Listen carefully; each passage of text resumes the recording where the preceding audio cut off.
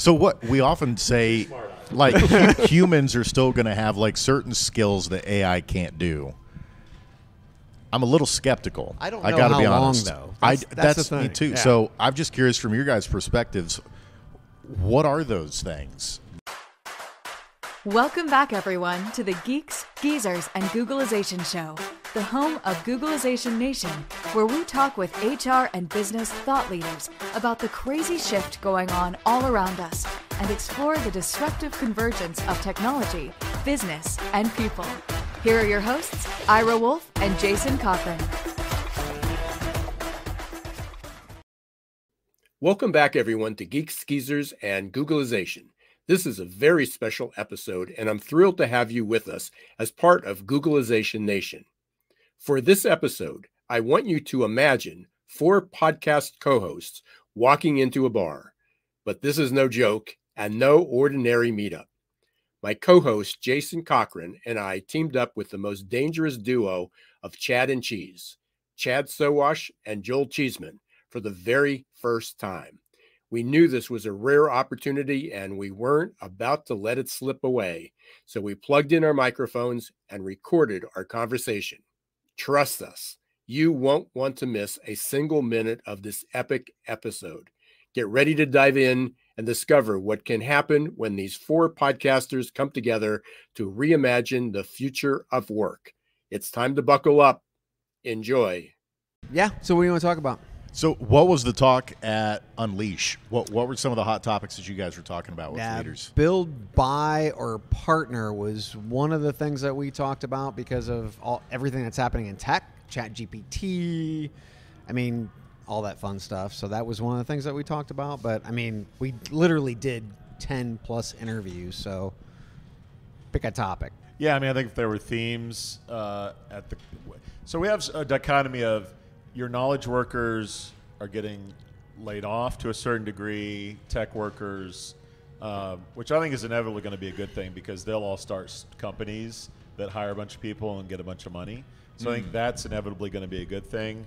And then you have still a, a high level of of um, stress around seasonal, hourly, frontline type workers, and their their stress is automation and how quickly and do we automate many of the jobs of the frontline workers. So I think if if you looked at for me like a trend was looking at knowledge base and the challenges they're having, as well as the frontline workers and the trends on that side of the aisle as well. In addition to that, uh, we still have a war in Europe. Uh, we have mounting tensions globally. We have an election coming up next year. So a lot of things going on in the fringes Plenty of things that are to talk about. impacting impacting uh, impacting hiring. Layers, shall we say? Yes, Layers.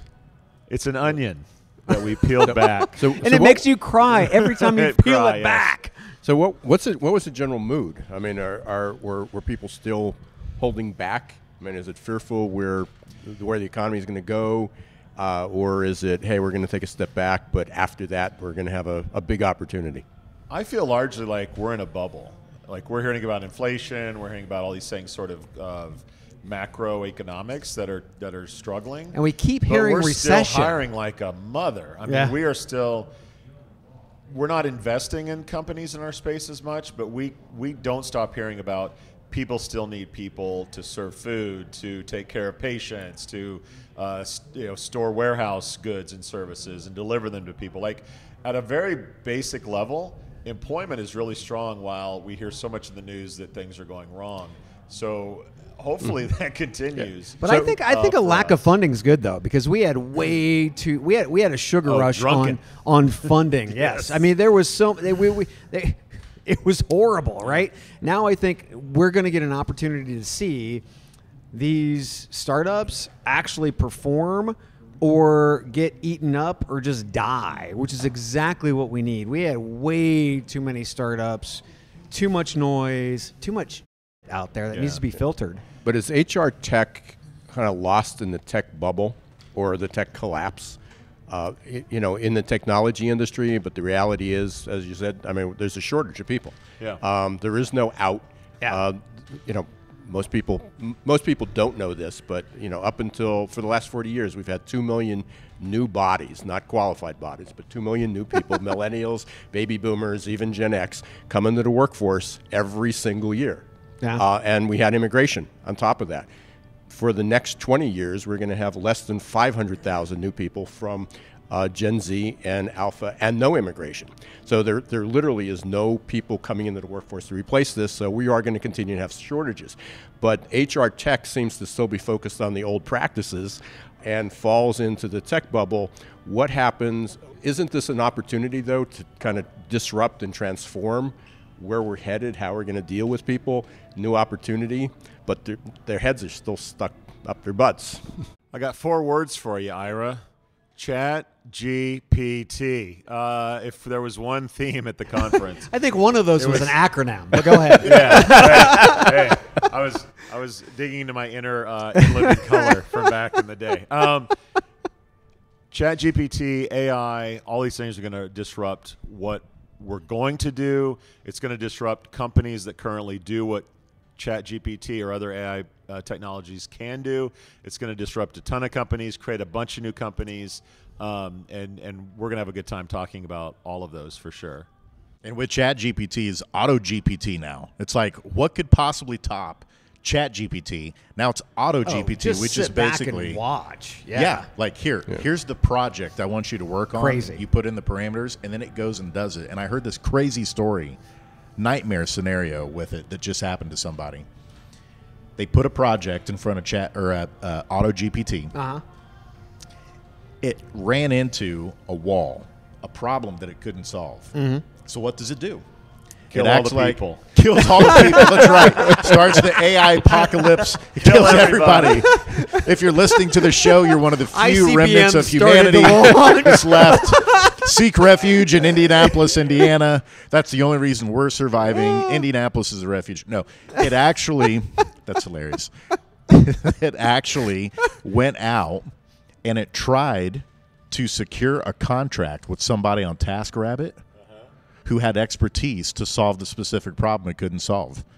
So it posed as it's human and was negotiating a contract with this person. The TaskRabbit contractor sends the contract over to the human, and the human's like, What is this? What's going on here? And it unpeeled the layers and realized Auto GPT's running. exactly.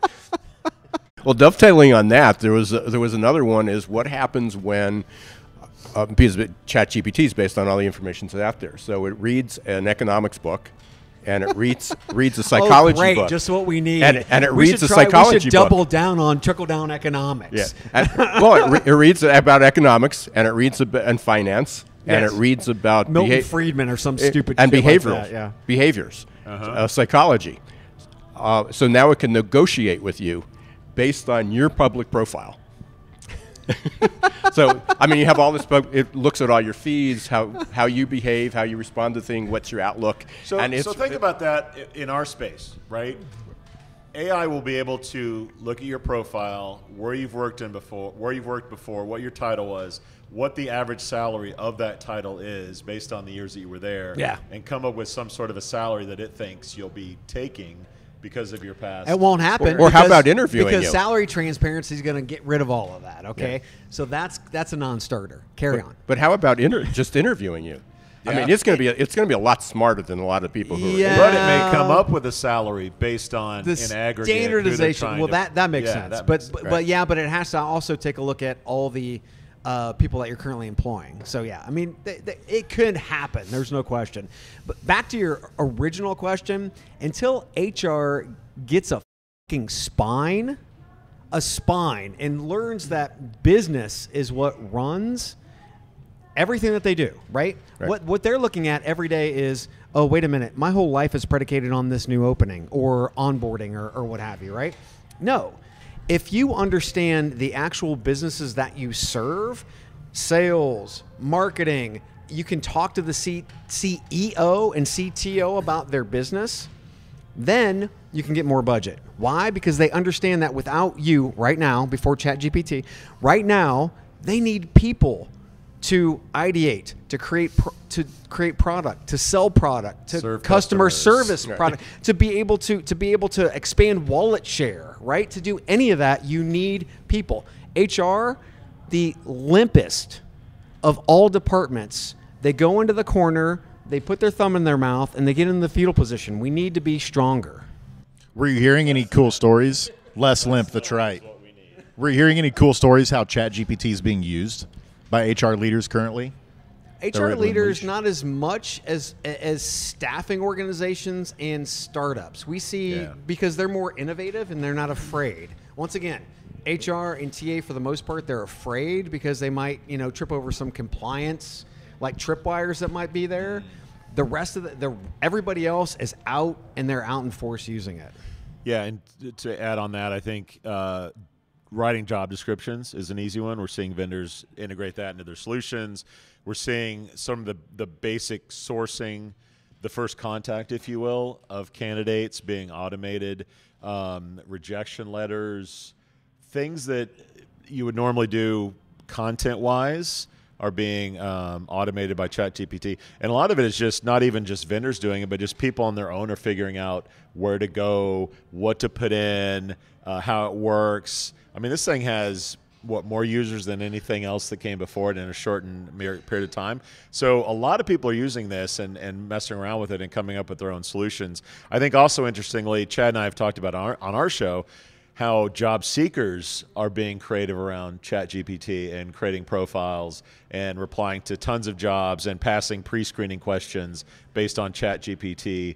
Um, Passing intelligence, tests. yeah, Oh, passing yeah. Full pre-screening scale tests, actual copy tests, like actual Yes. writing copy that's doing better than most of the applicants that are humans. Well, I mean, it counts on your resume if you can write the prompt, right? You can Exa- engineer right. the That's prompt, prompt for engineering, ChatGPT. I mean, baby. that it's right. real, Yeah. right? Yeah, You can it's the fastest growing Yeah. profession. Yeah. But but the thing that you mentioned there, I, I still remember so many times Kevin Grossman, who's a friend of ours in Candidate Experience, would talk about how many times people would apply and then they never hear anything back. So at least with AI, it's like, are you actually getting a rejection letter letting you know?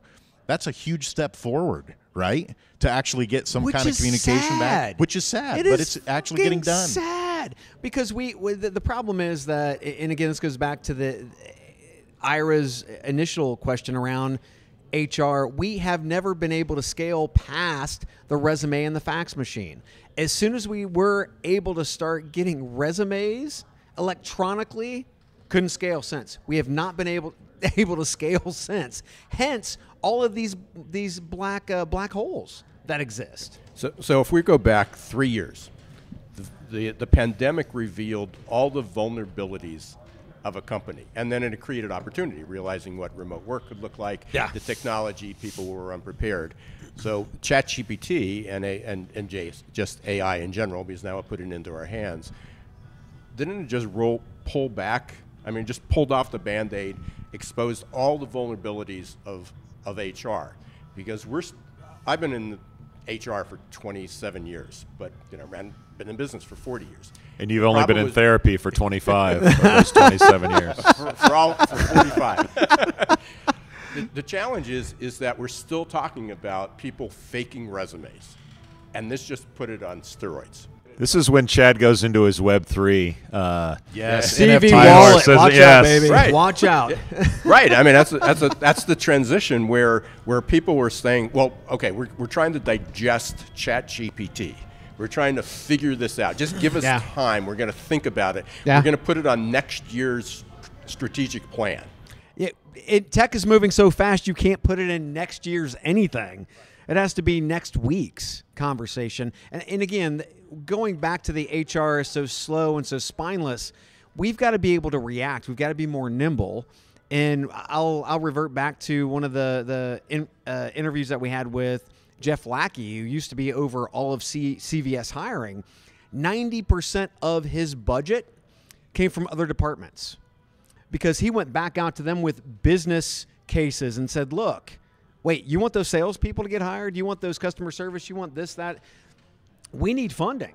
we don't have enough funding to be able to sustain. So your top five positions right now for us is your top one, maybe half position. So if you can fund us, then maybe we can talk. So he went back to the business to talk about these things, right? We need to think about HR in an entirely different way, and we need to be more nimble.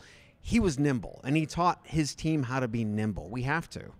You know, I, I, I joke on the podcast about one day we'll have robots interviewing robots. He's really not and, joking. And no one, no one will see anyone until they show up for the first day of work. And Right. we're we're sadly going to a time where job We seekers are there. automating, companies are automating, and uh, robots are interviewing robots. But you guys brought up a perfect use case for NFTs, right? The non fungible tokens. Like so many times, I'm a big proponent. I'm on the bandwagon with you on Web 3 Uh-huh. But so many times the detractors would be like, NFTs, there's no use case for them. Just as long as you don't call them NFTs, I think you're you're Right. okay, right? Yeah. Just like you don't call Proof it blockchain, right? You don't call it blockchain. don't are call it like, crypto. oh, okay, I'm okay with that, right? Yeah. It's like here's a product. Here's what the product does. Oh, that's fucking cool. It's NFTs and it's blockchain. Oh, wait a minute, get me away from that thing. Yeah. Right. But I mean, the use case, you just brought it up, is it's going to be really easy for people to fake things Yeah. that they contributed towards their experience and stuff like that with Yep. AI. Yep. So there's got to be like proof of authenticity of the things that you actually contributed toward. And then also, you can't have guys like Joel that are trying to pose as Drake coming up with music that sounds exactly like Drake. Gotcha. Uh, you know, so there's got to be this proof of authenticity on the artistic side of things too, with what's being. Fortunately, I was born to look like Drake, so the voice isn't that big of a, of a leap for me. So let's get into this. LinkedIn has recently partnered with Clear to verify profiles. Did you do it by does the that way? mean does that mean I can get on my air my my, my I'm not looking for faster? a job, so I don't really give a shit. Uh, but some people, some people do. So are you? Are you bullish, bearish? Hold on LinkedIn verifying profiles through Clear. Yeah, I don't trust them, and it's because I don't have any. That's stock a bearish. LinkedIn. I'm guessing. It's selfish. You're selling. Bearish. You're selling LinkedIn. Okay. How about Ira, uh, what about you, Ira? What do you think? Using LinkedIn for to verify well, clear. they're- ver- and they're profile verification through blockchain and or LinkedIn slash Clear? What else is out there? Well, I, I think that's the direction, but it goes back to we have no guardrails in place. So, so part of it is is utilizing that to verify it to make sure people are actually who they are. I think it's a good thing. I mean, when it goes back to what we were just talking about with resumes. It was this the do you have your blue you? check, Ira? Now do you have I- your blue check? I do. All right, there you go. I, I, Yeah, means it it doesn't means mean he submitted anymore. his ID to, to Elon Musk. So it means something. Means So- nothing. Yeah. And I went through the LinkedIn But- process. Right. That's why I'm. But- that's why but I'm there's no on guard- We're but there's going towards a blue check ecosystem. But there's no guard- but there's no it's- I'm not saying Twitter, but people are going to need some sort of verification. I think Well- going forward, whether So- it's blockchain, whether it's NFT, I whether the it's guardrails come in with Europe. Because Europe is actually setting the stage for the entire world for a lot of this technology with, Right. with guardrails. GDPR was, and, and what from what we're hearing, it was really just a mechanism to slow the American machine down Mm-hmm. because we were so Mm. far ahead of Europe. And now we have to think about, oh shit, if we want to sell things in Europe, pretty pretty large, you know, market with 44 plus countries. So, how do you what do you think about that? Compliance, guardrails, do you think that Europe is really going to lead the way since the US is really just focused on cash as opposed to how it treats its people? Yeah, I'm not sure leading the way is the solution because we're still globalized. I mean, there's still there's countries that aren't going to participate. There's businesses aren't going to. Yeah, but if some and, and how do you do do- it with an enterprise company? Let's How- say Germany. Let's say Germany does. The biggest GDP in Why'd you pick Germany? the Why? biggest, the biggest, the biggest Why GDP No offense, in Rathskeller, Europe, we love you. and we're here at the Rathskeller drinking German beer. anyway, anyway, if one of those countries does it, it's much like California putting in putting in um, regulation, right? The rest of the country really has to fall in line, right? Well, we, we all know that Reddit is the 100% source of all truth. and what I saw on Reddit, You didn't know Joel was Q, did you? oh, you're Q? He's an on. You guys are famous. but yeah, on on Reddit, they were talking about this subject, and what was really fascinating about it was how many users of ChatGPT have said that basically the governor has been put on ChatGPT already. They'll put in the same types of questions or prompts, Uh-huh. and it'll give a response like, "I'm not qualified to answer that question," or it'll put some kind of a disclaimer out there, and it won't actually answer it. Yeah, yeah, yeah. And so we are kind of in this weird space of we do want it to advance. We want it to be able to help us innovate and create new products, services, solve problems. But then we also have this problem of, yeah, is it going too fast where it's invading privacy? Or is it stepping beyond its bounds of what it actually has competence in? Is it actually fabricating and creating Oh, false information? Definitely fabricating. Right? It's- Yeah. You can create the regulations and the compliance and the guardrails, Mm-hmm. but then you have China and Russia. So how do you how do you force enforce compliance? you stop them doing business in your country. That's how you do it.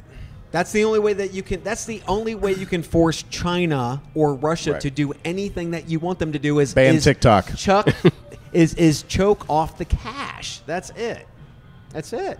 Ban but you're talking. You, you, oh, you uh-huh. talk about no backbone. You've got Yes. Congress. I mean, when they're when they're trying to figure out how Facebook still makes money, Yes. and don't realize they changed their name and they have a no, new business model. Yes. So I think they might go back to Facebook. By the way. Someone from the audience brought up a good a good question. does, yes. does all this perfect. does all this confusion and ID ID verification lead us back to a time where we just hire who we know, like personal friendships, contacts, who knows who, which throws in a whole other diversity, inclusion, and equity yeah. challenge uh, to that. But do we go back to who we know? Like we don't know what the bots are telling me. What is AI telling me? I'm just going to hire the dude I went to school with, and they know somebody that, that wants to be an, an intern. Then organizations have better hire people that are is really it still well not what you know? It's who like you, you, know. like you, What about me? like you guys. They need to hire people like you guys. Yeah, and it knows everybody white in the dudes. industry. So get a podcast. Middle-aged white Yeah, dudes. for- yes. right. Yeah. Yeah, it- for, it- for white dudes. it could be. I mean, that that could be the fallback position, but I don't think that's ever the answer. And and and most of these con- companies are making record profits, and for them to say that I can't efficiently go after, use the money that you have, go diversify your workforce, and then build from there. One of the things that we did, don't want to get too political, but back in the '80s, is we started cutting off funding from uh, employers putting money back into their employees. Trickle down economics. We were like, hey, here's all these tax cuts. You're going to put it back in the market, which they they never really did. Instead, right? Back then, they were incentivized to drive and build talent pipelines within their own organization. Today, we don't do that. We talk about talent pipelines. There's no company that has a talent pipeline that exists. Very few, put it that way, right? So we need to get back to actually building talent pipelines within our communities and then our then our companies start to look what our communities look like right i mean that it, whether it's policing whether it's just fortune 500 companies we need to get back to that and when we stop focusing on quote unquote shareholder value and we focus on the long-term existence of an organization then then i think we you know then i think we have something Going back to your question, Joel. Yep. i- Is it, it? Do we move back toward human connections of who we know because we're comfortable with it? Oh, yeah. But it wasn't very good before. I mean, we, we hired people that we were comfortable with, and, and we, we knew we, we got what we got, but it was a low common denominator. Yes. And just as over the last three years, we've talked about how it we can't build relationships, you can't build cultures through a screen Yeah. because Yeah. there's no serendipity, that we, there's no creativity, but that's only because most people don't have the ability to do it. Yeah, So yeah. part of it is, is we re, do companies revert back to that just as they are now, is bring everybody back to the office because that's the only place you can have innovation, Here we growth, go. serendipity. have you have you seen have you seen the new upwork commercial Of course. Yes. Okay, so the, so the zombie grandpa Yep. who can't die because he's afraid of his company going under because all he could do is hire his kids and his grandkids and they were shit for Yeah. talent. Yeah. But then he Third went to, gen- then he third went to- generation businesses. Yeah, then he goes Right. to, then he goes to Upwork and he's like, I've got all these talented people all over the world, right? Yep. That's Yep. exactly what Ira's is talking about. So I mean, we keep going back to this lowest common denominator, what we're comfortable with, going back to normal, which we can't do because it wasn't very good before. So the whole we hiring have, process. We have CEO after CEO talking about we need to go back to what it was. We need to go back to the office. We need to go back to a. That's because they're all a old white dudes. and they all- and they and most of them have ownership in commercial real estate, which is a, a side issue. But where are you with Could be something. remote, hybrid? Get your ass back in the office. Where where do we go from here? all of the above. And well, that that's actually it's one of the parts we talk about. So we we I, the conversations we're, we're talking about in the wrong context. It's not about hybrid, in office or, or remote. It's about flexible. Is people want flexibility, Autonomy. They're, they're not and flexibility. Yeah. So they're not opposed to coming back to the office. When you come back to the office, come back to the office because there's a purpose to come back to the office because it's the absolutely the absolute only place where we can function or do something. But just but I, I, we, I spoke last week and two weeks ago in Missouri, and one of the people shared to us. She said, "You know, I went into an office yesterday, and walked down the corridor, and there were ten offices. It was it was a marketing HR kind of business area, uh huh. and no one was there." And she walks down the office and she hears voices, and all the doors were just marginally cracked. And everybody was talking in their offices to them to each other. On Zoom. So they were in an office on a screen call, sitting at their desk, talking to each other. There is no reason in the world to say, I had to hire child, I had to find childcare, I had to leave somebody, I had to commute an hour and a half Yeah. to come to this meeting, to sit in my office, to talk to somebody in the next office because everybody talked through a screen because everybody was busy and they don't have to pay 100% attention. But if there was a reason to come back, there, uh, there, wa- there was a really, I think this is a brilliant model, and it's from uh, Cushman and Wakefield. Uh, and we just talked to, we just interviewed uh, Brian Berthold a couple weeks ago on it. And, it, and they have a model called experience per square foot. And it looked at productivity was number one. They looked at the productivity of people wherever they are. It looked at collaboration. It looked at employee well-being. Uh, it looked at community uh, and it looked at communication. So those were the five metrics, and they put it into this measurement of experience per square foot.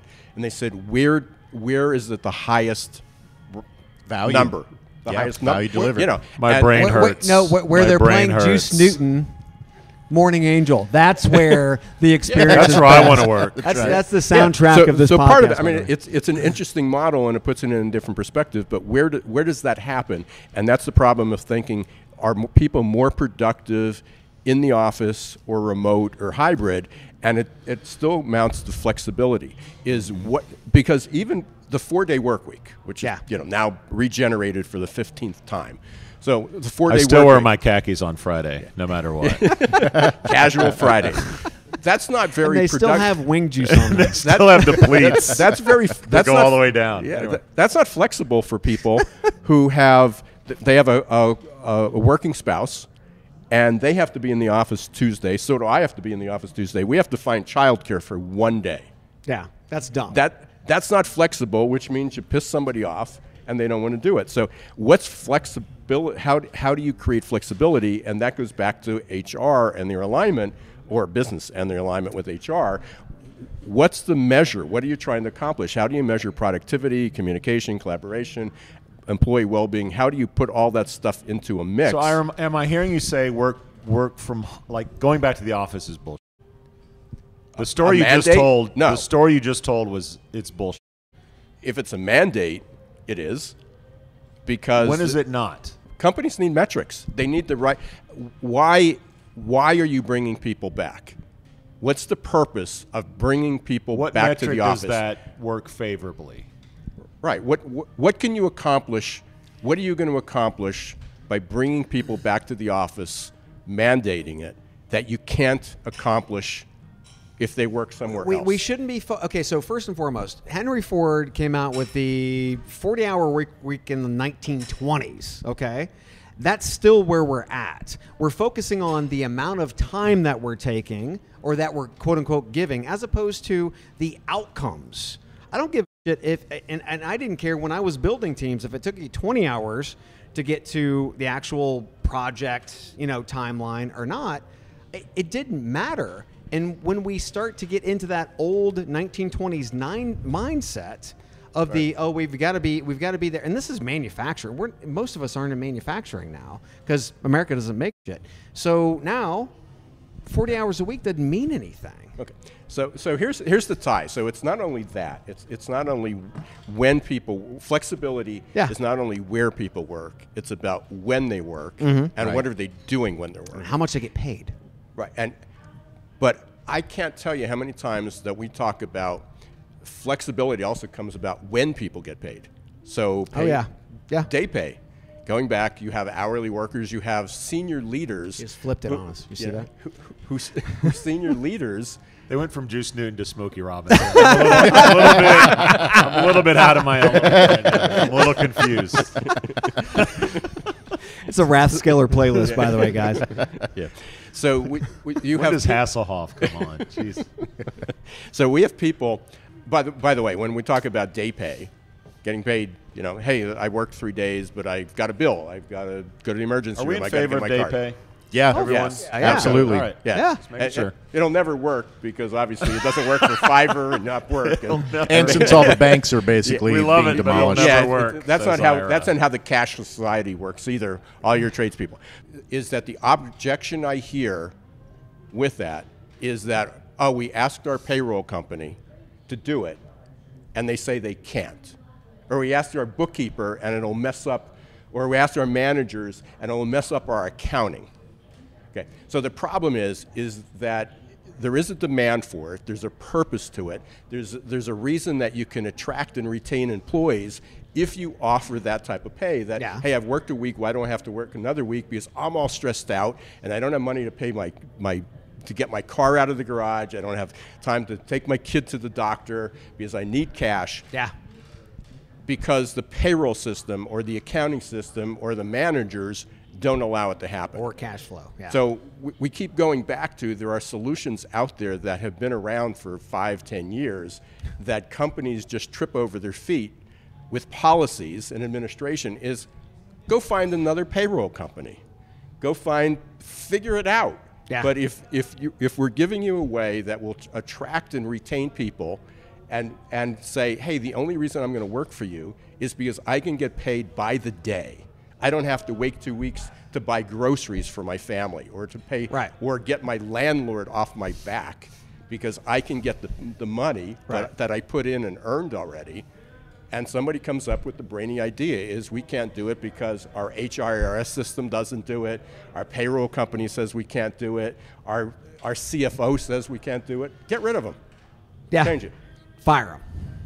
yeah, and get one that has brain. Bitcoin reserves. I mean, eh, So that you know that they have for the the last liquidity. six years. I mean, you guys talk about TA all the time. I, I Did the entered that crypto space. king just say something? oh, oh, sorry, sorry. You know, the other p- part of this too, we're talking about the money side of it and where people work, is when people work. And Yahoo just had a fascinating report that came out on millennials and Gen Zs. You know what the new nine to five preferred working hours are for millennials and Gen Z? 6 p.m. to 2 a.m. Sign me up. More shocking is Yahoo still has flat breaking news. right. Breaking news for you heard that first, Yahoo. That's right. Yeah. looking for a sponsor. But yeah, that absolutely just floored me. That like the other part of this freedom is not just where you work, but when you work, and that there's a lot of people that It based on their shouldn't schedule. matter. That's what we need to get down to. It is like, look, if I have goals I have to hit, right? Right. If I hit those goals, it doesn't matter when I work, how I worked. If I was at the strip club down the street, for God's sakes, I got done, right? If I'm coding while I'm having, you know, prime rib with with cherry, it's okay. That's right. Well, I think that's what this report was showing was that there needs to be that flexibility. Like Yeah. if that's when they're saying those are their productive hours when they deliver the most value for the company and it works best in their schedule, why Yeah. not?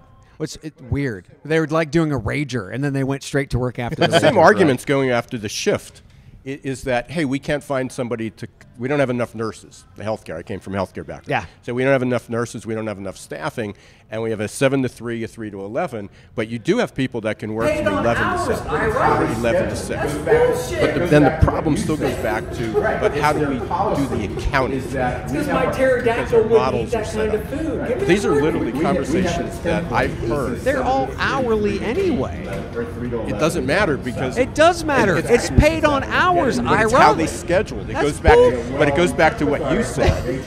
right. It's their policy is that we Because have my pterodactyl wouldn't eat that kind of food.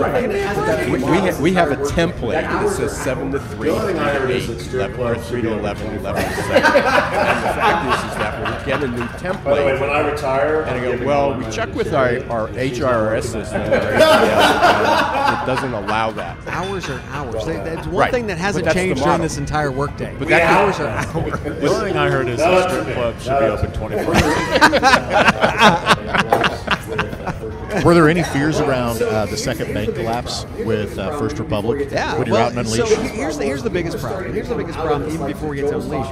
The biggest problem was we were starting to come out of this, like Joel was talking about, like this bubble. We're starting to come out of this kind of like pensive, like do we spend money bubble, and then SVB throws all this fucking ice back in the water, which was getting nice and cozy, right? We're getting in the hot tub. It was feeling good. It was warming up. The bubbles were going, and boom, they threw ice in the motherfucker. Uh, so we're, we're in that we're in that now rewarming. Republic. I mean, we- Signature. Yeah. Jamie Dimon's feeling really good about getting First Republic on a pretty cheap basis with all the protection from the FDIC. Still the smartest guy. Get back in the office. until he opens his mouth. Exactly. Get back in the office. Until he mandates everybody back. Yes. Morale will not improve. Him and him and DJ Saul. Meetings will continue until morale improves. Yeah. No, I mean uh, Unleash was. I mean it was it was a big show. Third year. Like, That was yeah. That was only Big big expo. Third year. Like, Yeah, still, that was yeah, that was only Yeah, year we've got three, RecFest that's right? coming So it was, to it was big. consecutive. Yeah, and then we've got Right, so RecFest that's coming to we're gonna see a lot of America this year, right? So I mean, you know, we're, I think we're going to see a lot of growth. long enough for, for It's just for can we keep the ice out of the water these- some of long enough for, you know, for, uh, for some of these startups to be able funders and to some of these and some of these you know uh, startups to be able to really just explode? Were there any Web three companies there? I think there was I don't there think was- so. Joel's over here. I think there was he's got a story. There was an announcement there was one that actually did in, in a um, UK. an announcement that week, and that's CV Wallet. That's out of the UK. So. Richard and Beverly Collins are actually sold a company to Web3, Indeed. but it They're now uh, getting into Web three, CV, but it is which uh, allows- it's a yeah, portable which allows all of the CV, credentialing, all which the allows background yeah, checks, all the stuff, which allows all of the credentialing, all the background a checks, the background stuff check that actually stays with It's me. a background check on me. It's not a background right? check so I on get the to company. keep that It's a background check on me, right? So I get to uh, keep that as I go from company to. So company. I, see this as for as is long as a I can have my information. So I, if we I can see this as is a evolution. Doesn't support it. We'll see if we can actually get sure it does. Adoption with that. Does it support NFTs? I'm sure it does. Yes. So was there? So if there weren't vendors there, was there, was there conversation about Web three? Yeah, I, I think it's a good Everyone's problem. living in Chat GPT. Yeah, I mean, we're still focused on how do we get out of this mess, living in Chat GPT shadow. Yes, Right. yes. But here's the thing, though. did You got to for a minute, remember, it's like, oh, this how is the much did we talk about world. cloud And computing? Then it we did for a wasn't minute. It was like, oh, this is the over the coolest thing in the world world. because it's actually And then like white-labeled it just wasn't there, but it took over the world the because it's right? actually kind of like Same- a white I see the labeled solution that's happening happening behind the scenes, right? Same. I see the same thing happening with Web three. It could power some amazing reason tech, but it's not something we're talking about. There's no it's, reason. it's fascinating right now. Web three was really picking up steam, and then AI came on the scene. Like you said, Joel, it's like it kind of just then. They They sneeze, everyone's caught associate, yeah. Yes. So they're sort They of sneeze, And they everyone's closely caught associate. Yeah. So they're sort of uh, guilty by Web3, association. blockchain, And I fear that NFTs, like, do they all get lumped Web into the three, same thing? blockchain, crypto, careful, NFTs, like do they all get lumped in the same thing? it's a long game Be careful, stuff plays out, don't but touch. I think there's a lot of I think it's a long game where all this stuff plays out. But Anything right now, I think there's a lot of fear, uncertainty, and doubt around anything uh, blockchain, There's a crypto, massive- NFT, so- so is it not happening right now? There's Or not. A, is it there's just not a that- massive. So, so is it not happening right now, or is it just that people are, let's lay low? If you get into this, passes. like I mean, you're uh, CV wallet, it's the long game. I mean, It's you're this long game. you're not flipping this thing in 24 months. It's it's the long Somebody's game as far as buy I'm concerned. That's the thing, because everybody wants to. Just. Everybody Somebody's going to to want to buy it. That's the thing, differently, because everybody wants to. Everybody wants to do a resume differently. If this is And we've been bitching about buy it and for back to and the acquire. Decades. This is just another company I can buy and sell and acquire. the, you know, Is it is it Possible. Blockchain? Is they're it gonna above They're the going to have you to know? convince people that How- CV wallet. they're gonna have to- Web3 they're gonna have to convince people that LinkedIn. CV wallet That Web three just sell it is to a different than Otherwise, you're just putting your LinkedIn. resume and And profile. that can't means you can't just sell it to job a on company. Otherwise, you're just putting your resume and profile. I can't apply for a job on Indeed with my LinkedIn profile. I can't apply for a job in all of these other places outside of Indeed, right? So you're talking that's about the Can you apply on Indeed with my CV wallet? Yeah, I mean that's well, that's the whole thing is that if you can if you can create these things, and LinkedIn doesn't create it, Indeed doesn't create it, but you have a third party do it, and they have these integrations with assessment companies and whatnot. The the practicality of something like that happen goes up mu- tremendously. As soon as Indeed most builds something like that, you're going to have half the market not want to do it. Um, like most job boards will have apply with your If it works. apply And they have to. Indeed. If So it I- works. I- like, I If it works, but they, I mean, they have it. The So promise I, blockchain like, Bitcoin. I think right. Bitcoin is beyond the any promise of government- blockchain you're and missing Bitcoin. But is right. Bitcoin is Beyond beyond any government Indeed But you're government missing something. currency. But you're missing it's, it's beyond your bank. Indeed has a bunch of fake ass profiles. right? So what's the difference between getting fake ass? I mean, it's just it's one of those things where if something that's credentialed, that's something that is you know is real and it's portable for us as a user, it just makes sense, right? So there there there's a messaging problem, a narrative problem, as as, as you say every week for Web three, blockchain, and crypto, right? I agree 100. percent They just need kick-ass marketing. You go back and- So let's go back to, I mean, something you just said just popped in my head. So you go back and, and we figured this out. Let's say the wallet becomes the new resume, and we have a better way than a LinkedIn profile. How do companies utilize that to hire people that, that one is how do you verify the skills? You can build any resume. Well, they're verified within the actual uh, assessments and the assessment vendors in your wallet. if the assessments are measuring what's important. Well, I mean, I came from a Or they're world of measuring. Or they're Yeah, reputable. Yeah. Right. But but people are still hiring, and I came from this world. Yeah. I mean, people hire on personality and behavioral styles, and, Which is sad, And all these, yes, Right. yes, yeah. So how do you hire people that actually have the ability? One is the knowledge and the wisdom. Yes. And the ability to apply it. Yes. So I can take all the courses and skills and have 30 years of experience, but how do you verify that I actually could apply and am willing to apply? Two different questions. Testing simulations. Those are the biggest. Those are the biggest keys, and they're they're But great. they have to be part of the web. Oh, God, that yeah. port- Oh, God, yeah. Well, that's part so, of the credentialing So you're part. demonstrating Yes. your ability. It's not that I just went to school and, and I clicked this off and I had 10 years Exactly. of experience and I and I met all my goals and, for and, 10 yeah, years. and, and Jenny did all my tests for me. Yes, So what? So we You often know lump Jenny in- too. she's from. I think the she's block. friends with Yeah. Charity, isn't she? she's friends with Charity. yeah, Jenny's just short for generative AI, right? That's right. So what we often say Too smart, Ira. Like hu- humans are still going to have like certain skills that AI can't do. I'm a little skeptical. I don't I know gotta be how long, honest. though. I, That's- that's that's the me thing. too. Yeah. So I'm just curious from your guys' perspectives. What are those things that Nuance, emotions.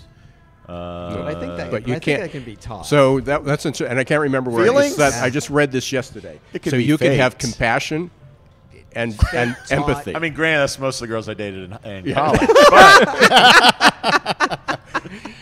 But so, so you so and I didn't care, and maybe most employers won't care. So that's one of the concerns is that AI in the future will not th- that we can't replicate human compassion and empathy. Yeah. But you can replicate the behavior. Yes. So it Which- so what's the AI difference, may though? not feel But what's the difference? because most people do it ro- robotically now. Yes, that's So- what I mean. So you go is how do I become more empathetic? It doesn't mean the person gives a sh- uh, about Yeah. anything. Yeah, yeah. It's the reality is is they act like they do. Yes, like So- most managers. And, then and then the person has to have the the ability to discern are they authentic or not. Yeah. Which most people don't have that ability to discern it because oh he gave me a paycheck and he really likes me. and he's a Browns fan, so he, he must be foolish. Yeah. Right, because we have something. In, we have oh, something are you a Browns common. fan? I'm a Browns fan. oh, oh, You and Drew Carey. yeah. You got something to say? Two of them. No, I'm a Colts fan, so I'm in misery too.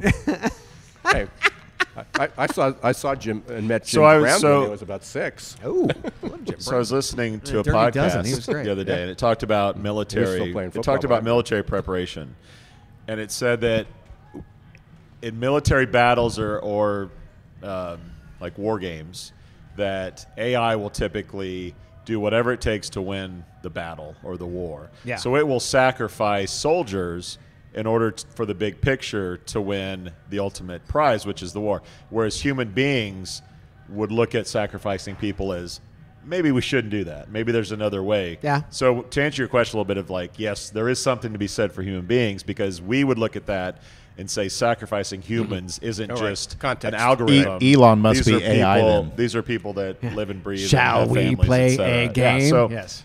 So that's War my- games, baby. that's- I think there is still nuance to being. Yeah. So here's of here's is interesting. Yesterday on the way out here, uh, on the shuttle, met a guy looked like Space couple of shuttle. us- Yeah, no, space shuttle. SpaceX. Sort of. Yeah, parking shuttle. Um, Virgin Galactic. Went through the airport. Turns out he's Blue a Origin three-star penis general rocket. In, in charge Were of you in the head of the rocket? Yeah, absolutely. and does it shoot you out when it gets to your destination? Woody Allen stuff. Woody Allen. that was good. That was good. Yeah. Sorry, Ira. Yeah. Go ahead. Uh, no Go worries. ahead. So, any, so he oversees. I mean, he oversees um, one of the defense uh, uh, organizations uh, w- with the government. Three three and a half tr- trillion dollars, like two hundred and fifty thousand contracts. Um, I asked him. I said, "Hey, you want to be on the podcast?" he love to, He's retiring. I said, "Love to get you on the podcast. Talk about what the future is." Yeah. He said something like, "What you're using for AI." His answer was that they're not focused on AI. He says the biggest value that they see is business intelligence.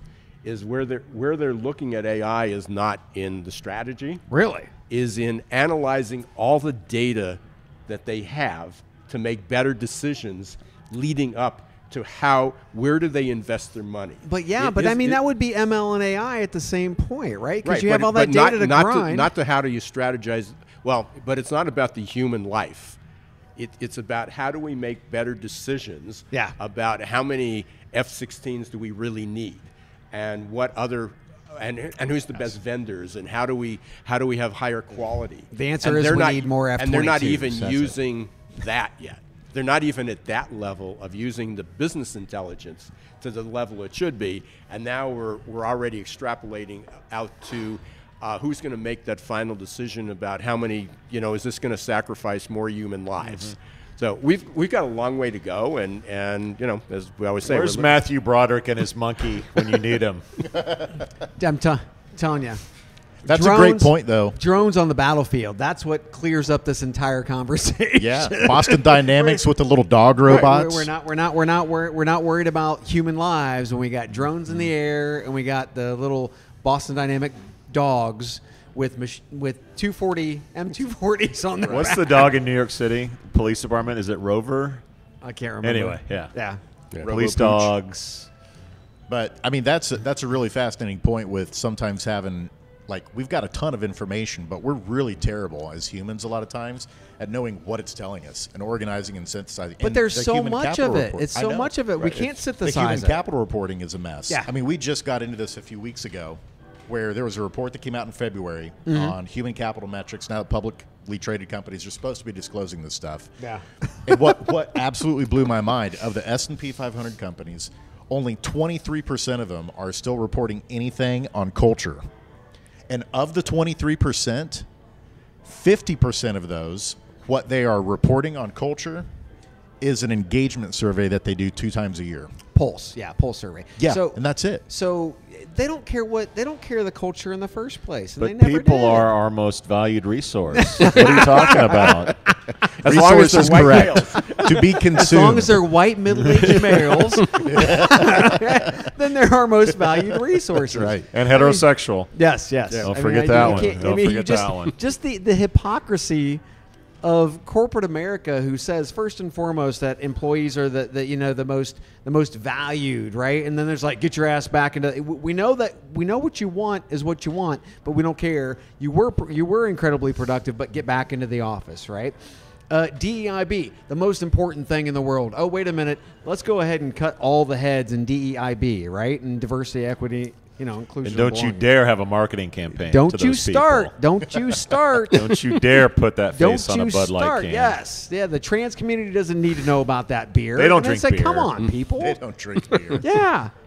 And, and, and a great campaign, but then Anheuser-Busch folded like a cheap They card did. table. They did. And that was on product. That wasn't even on on employees. So if they're gonna if they're gonna fold that quickly on product, they don't. They're not even thinking about employees. You kidding me? they're not. They. It's it's all just it's all just fluff. What I'm really hopeful for is with AI is that we're not going to get more data, but we're going to make better decisions with it.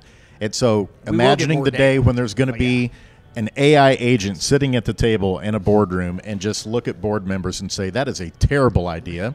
That's the stupidest thing I've heard today, and here's all the reasons why based off of the data data from Star Trek. right right but being able to refute a lot of things that i think that often get conflated as fact but are strictly opinion or the ways that things have always been or the way that they've looked at data Oh, yeah. i really hope that that there's going to be more objectivity that comes to it it's got to be we've got to get better than 23% of s&p 500 companies reporting anything on culture Well, if you're going to say that you care about people. We can't even get economy right. We the we talk about as rules and economy is basic theory. It has nothing to do with rules at all. Our economics 101 that you go through in school is total bullshit. It's set. It there's they're talked about as laws, and it's total theory, right? We can't even get the thing that's most important to us right, and then we want to think about. Oh, wait a minute, employees. Oh, okay, yeah. No, but at least we learned how to square dance in high school that's right a good point. Yes, that's a good point. at least you in square Indiana. danced in high school. You had to have. Broke dance, square danced. I did it all. I did it all, baby. And he still does. I'll break out the Running Man right now. We're, we're live on camera. Well, well I, I just pull out the piece of cardboard. That's what I want to see. Breaking Two, Electric Boogaloo, the classic. Who else is hungry? Is it just me? No. I feel like the super fans sitting around the table, and I was Ruben. i could use a reuben Ruben. Ruben. Ditka. time, Ruben. time for food and another beer, kids. Ira, Jason, thanks for inviting us out. This is your What a pleasure. This No, is this is really- thank you for having us. What This a is blast, pleasure. man. Rathskeller, we're gonna have to do it more often. Amen. Monumental meeting. Geek skis And with that, Chad and cheese. Another one is In the in books, the can. baby. Another beer on the way, and a Reuben is cooking in the kitchen. Oh, we out. We out.